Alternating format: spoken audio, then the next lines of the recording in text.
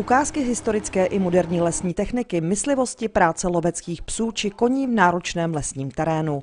To všechno a mnohé další nabídl návštěvníkům letošní Den lesní techniky. Je jedna hodina, vypadá to, že akce je velice úspěšná.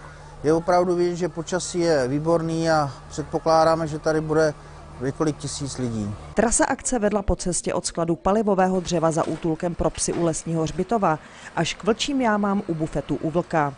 Během příjemné procházky městskými lesy mohli návštěvníci vidět v akci nejen lesní techniku, ale také řezbáře, kováře a děti se mohly zapojit do nejrůznějších her a také soutěží.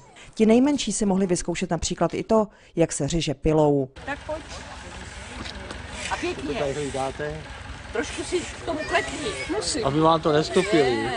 Den lesní techniky je mezi veřejností velmi oblíbený, ale lesníci zvou už i na další akce. Příští týden v sobotu 21.